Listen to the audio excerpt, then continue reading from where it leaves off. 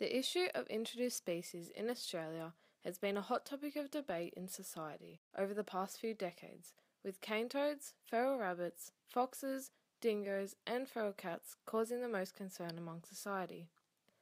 These species were originally introduced to Australia as it was believed they could improve the sustainability of resources and other species, or were introduced for hunting purposes, however, are now well known for their strong genes and few natural predators.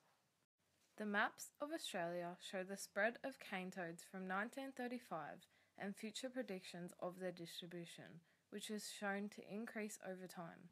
The distribution of foxes in 2006 and wheel cactus in 2014 is also shown, where introduced species are the number one cause of native animal extinctions in Australia according to the Department of Environmental and Primary Industries.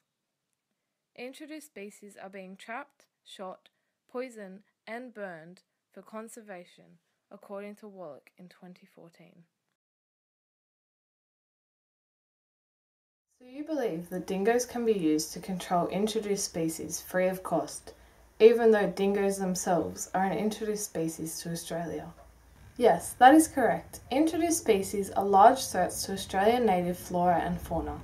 Instead of spending millions of dollars trying to reduce their numbers, dingoes could be used to control these species for free. So, what makes dingoes capable of controlling introduced species in Australia?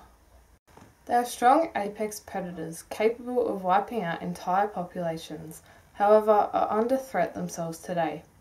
Using dingoes to control introduced species is a cost effective, sustainable, and ethical way compared to other failed methods. The issue of introduced species is far from black and white, as there are many different sides that must be considered. It is not as simple as keeping or eliminating introduced species, and all consequences must be considered, as native Australian animals and plants are also dependent on their existence. Booth admits that controlling feral animal populations is difficult and often pointless, as feral animals are highly mobile and able to replace those killed. As stated by Wallach's article on dingoes controlling other invasive species, there is a large sum of money being spent in an attempt to control introduced species in Australia. 10 to 20 million Australian dollars are spent annually in an attempt to control Australia's six most wanted offenders being foxes, rabbits, cats, dingoes, goats, and pigs. As shown in the figure, as the stage of invasion increases, as does the abundance of these species. The management options also get more complicated, and an action must take place to protect biodiversity, meaning cost of management also increases.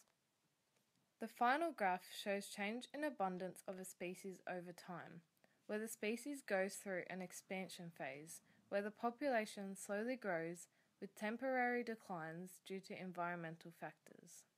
Australia is not the only country that suffers from the effects of introduced species.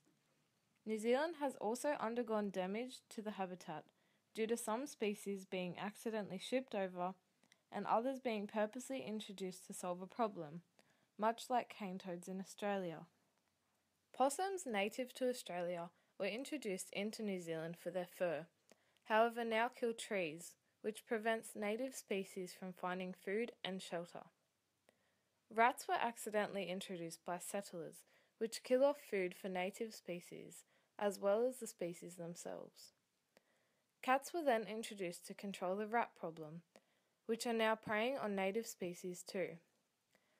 Issues of introduced species in both New Zealand and Australia are similar, where they seem to be preying on or harming native species, even causing extinction. A cost effective and sustainable way for conservation must be proposed to control the negative impact that some introduced species may have on biodiversity and conservation. Sustainability of introduced species can only be achieved through continued research of their influences on the environment. The money currently spent on eradication of these species could be more efficiently put towards research, observing their adaptations, and gathering information on how to reduce their impact on native species conservation.